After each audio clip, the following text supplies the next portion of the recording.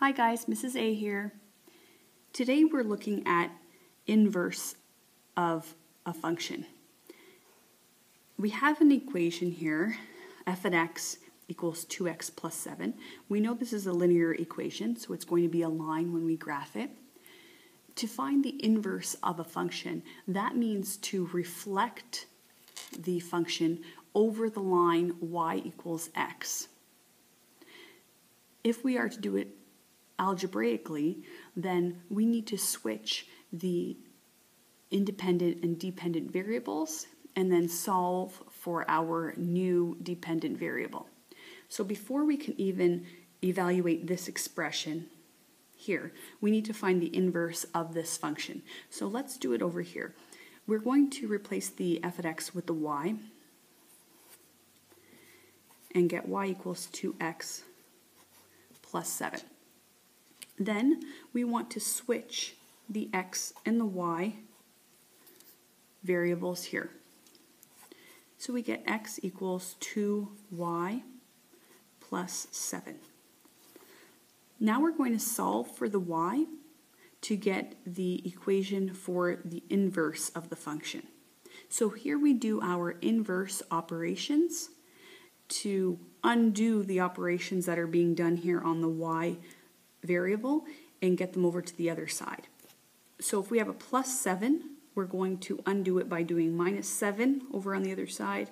And if we have the divided by 2, we're going to, sorry, the multiplied by 2, we're going to divide by 2 to get the y by itself. So we're doing the backwards order of operations, so we have to get rid of the plus 7 first. So we'll have x minus 7 on the left and 2y on the right now we divide by 2 on both sides. This will give us y equals x minus 7 over 2. And make sure that we use the proper notation. This is now the inverse of f at x. And we have this new equation for our inverse. So we're going to use this to evaluate this expression. So now we'll come over here and we want to sub in 3 for the x in the inverse equation. So that's going to be 3 minus 7 over 2, which gives us negative 4 over 2, which is negative 2. And so this negative 2 is the value of the inverse of f at 3. Now let's look at this more complicated expression we're going to evaluate this, we need to use the original function and the inverse of the function here.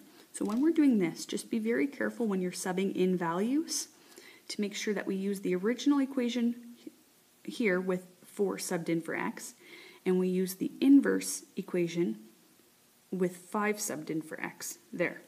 So it's going to look like this. Negative 2 times, now we're going to go back to the original equation, the 2x plus 7, and sub in 4 for the x.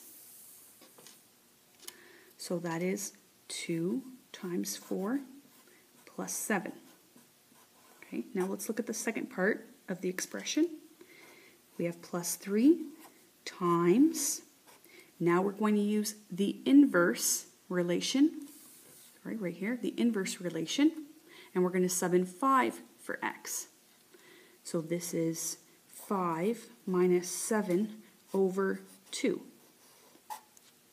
Now that we've subbed everything in properly, we can continue by just computing this using proper order of operations, and we'll get the final value for this expression. So here we have negative 2 times 2 times 4 is 8 plus 7 is 15 plus 3 5 minus 7 is negative 2, divided by 2 is negative 1. Okay, now we multiply. Here we get negative 30, and here we get minus 3, and our final value for this expression is negative 33. Thanks for watching Mrs. A Loves Math.